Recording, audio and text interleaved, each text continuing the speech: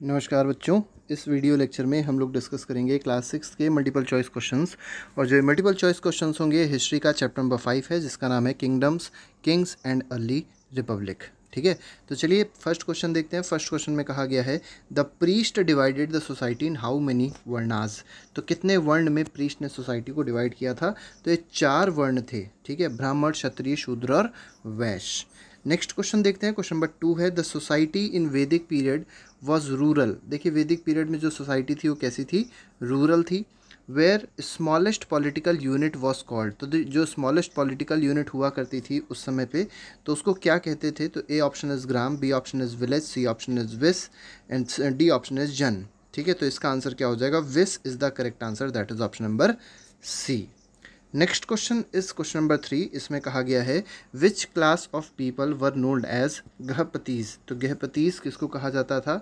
तो ऐसे class of people को कहा जाता था। A option is priest B option is landed people या सी ऑप्शन इज़ ट्रेडर्स तो बी ऑप्शन इसमें सही हो जाएगा दैट इज़ लैंडेड पीपल्स ठीक है? तो लैंडेड पीपल जो होते थे, उनको क्या कहते थे? गहपतीज कहते थे।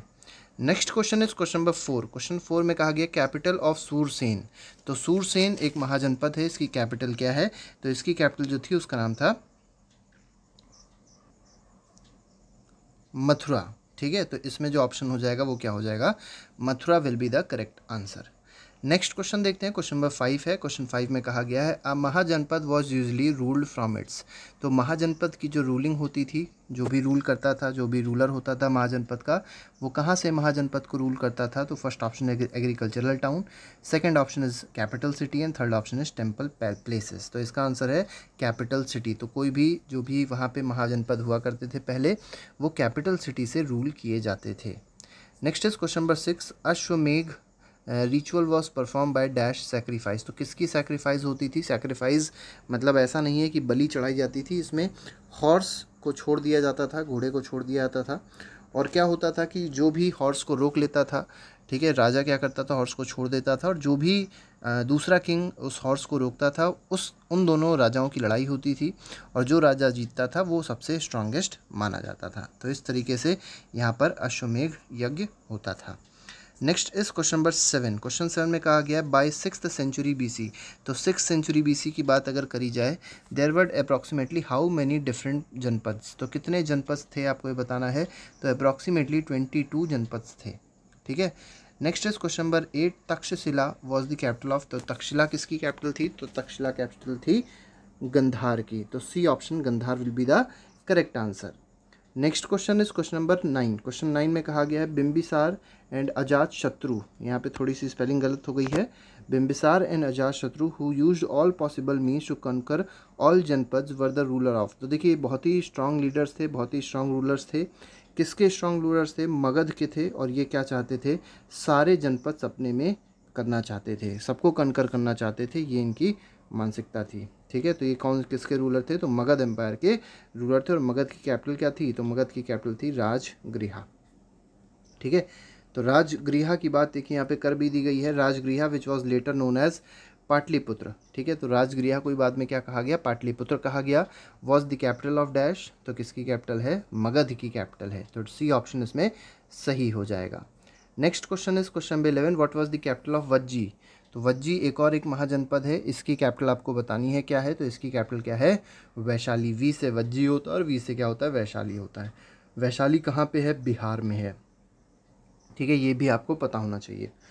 राजगृह भी कहाँ पे है? बिहार बिहार में ही है और कुशीनगर कहाँ पे है? ये उत्तर प्रदेश में है।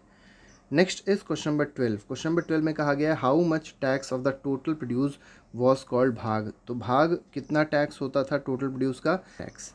Next is question number thirteen jana और sangha is the form of government followed in which kingdom तो जन बोला जाए या संघ बोला जाए तो ये किस किंगडम की गवर्नमेंट है जो फॉलो करती थी? मतलब कौन सी किंगडम है जो इस टाइप की गवर्नमेंट को फॉलो करती थी?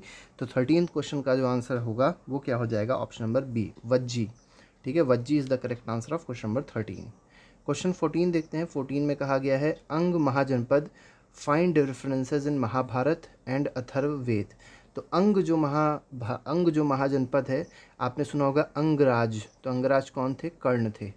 ठीक है तो ये कहीं ना कहीं इनका एक बहुत बड़ा उल्लेख है किसमें? महाभारत में और अथर्ववेद में। तो ये बात बिल्कुल सही है। तो true will be the correct answer question fifteen देखते हैं। फिफ्टींथ में कहा गया है, Champa is the capital of तो चंपा किसकी कैपिटल है? ये आपको बताना है तो चंपा कैपिटल है किसकी? अंग की। ठीक है तो अंग जो महाजनपद है, उसकी कैपिटल क्या थी? चंपा थी।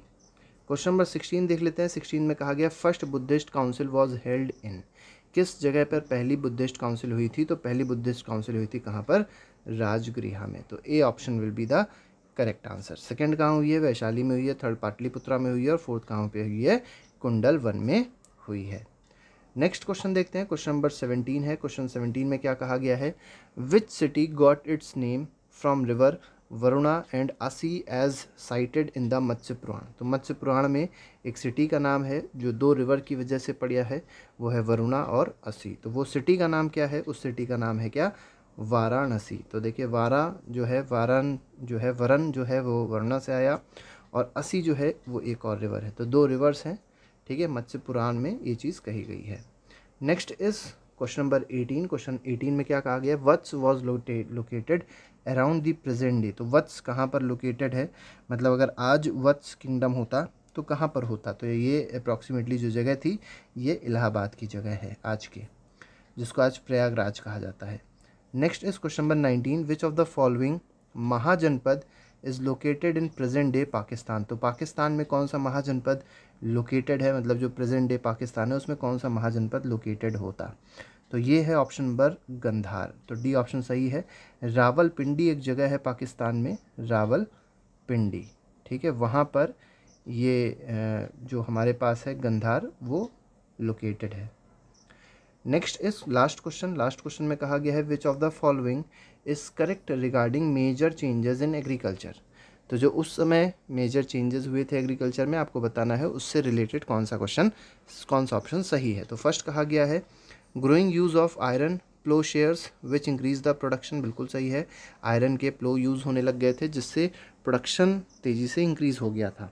और सेकंड कहा गया है फार्मर्स बिगेन ट्रांसप्लांटिंग पैडी अब जो पैडी थी, पहले क्या हुआ पहले क्या होता था सीड्स को ऐसे ही फेंक दिया जाता था, ठीक है, बिखेर दिया जाता था पूरे खेत में, और पैडी उग जाती थी, जिससे कहीं ना कहीं बहुत बड़ा एक नुकसान सीड्स का भी होता था, और प्रॉपर तरीके से प्रोडक्शन भी नहीं हो पाता था। लेकिन बाद में क्या हुआ? ट्रांसप्लांटेशन सीख गए कि कैसे पैडी का ट्रांसप्लांटेशन किया जाता है। तो अब जो सीड्स हैं, उनको थ्रो नहीं किया जाता था। बाकायदा जो छोटे छोटे से पेड़ होते थे, उनको ट्रांस पहले बो के ट्रांसप्लांट किया जाता था। तो जो उससे प्रोडक्शन तेज़ी से बढ़ गया। तो इसका मतलब दोनों ऑप्शन जो हैं, वो सही है। तो इसका आंसर क्या हो जाएगा? C will be the correct answer. तो ट्वेंटी क्वेश्चन का जो आंसर है, ये दोनों ही ऑप्शन उसके सही हैं। तो आंसर हो जाएगा बोथ ए एंड बी। तो ये हमारे पास ट्वेंटी क्वेश्चन थे, जो अभी हम लोग ने डिस्कस किए। चैप्टर था chapter number five chapter number four तक के एम हम लोग पहले भी दे चुके हैं। बाकी के जो भी चैप्टर्स बचे हुए हैं, उसके एम बहुत ही जल्द आपको मिल जाएँगे। तो हमारे वीडियोज़ से, हमारे चैनल से जुड़े रहने के लिए लाइक और सब्सक्राइब ज़रूर कर दीजिएगा।